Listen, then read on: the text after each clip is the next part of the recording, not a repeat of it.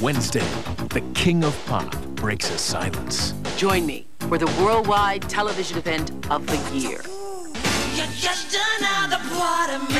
Michael Jackson talks to Oprah live Wednesday.